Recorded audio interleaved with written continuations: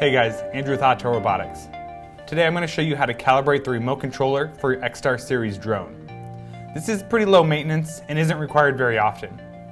There are two ways you can calibrate the remote controller. Let's take a look. You can easily calibrate your remote controller via the Starlink app. Power up your drone in RC and launch the Starlink app.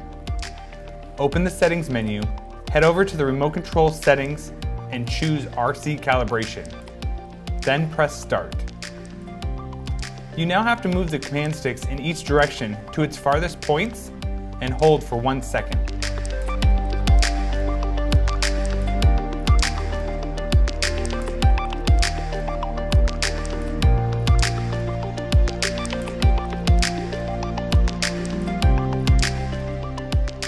Then roll the gimbal wheel all the way up and all the way down. Once the controller detects the inputs made, it will finish the calibration and we can press done.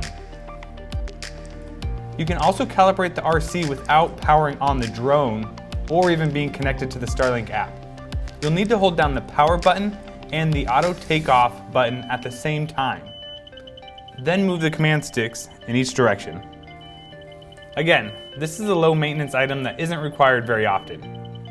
Thanks for watching.